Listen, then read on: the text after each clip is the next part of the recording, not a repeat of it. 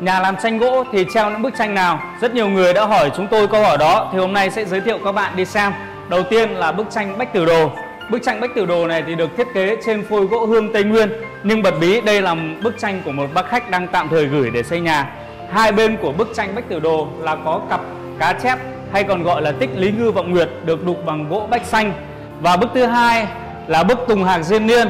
Đó, được làm ở trên phôi gỗ gỗ gụ và đã đổ nước vôi khung tranh ở bên ngoài là gỗ hương. Và đến bức thứ ba đó là bức hoa sen ờ, được đục ở trên cái một cái tích đó là cửu phẩm liên hoa. Và bức tranh này thì đang chờ để giao cho khách. Ngay liền bên cạnh đó là bức tranh uh, thần long tứ phúc hôm trước đã giới thiệu với các bạn.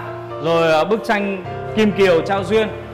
Uh, điểm nhấn quan trọng nhất và rất nhiều người ấn tượng đó là bức tranh về vua ngô quyền uh, đứng ở trên sông bạch đằng.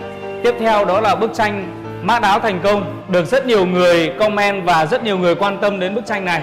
Tiếp theo đó là một cái bức tranh cá chép hóa rồng, được làm trên phôi gỗ gỗ đỏ. Ở phôi gỗ này thì đã cách đây hàng ờ, gần chục năm rồi và chất gỗ rất là đẹp. Đấy là những bức tranh được treo ở trong phòng khách của tranh gỗ Bùi Giang.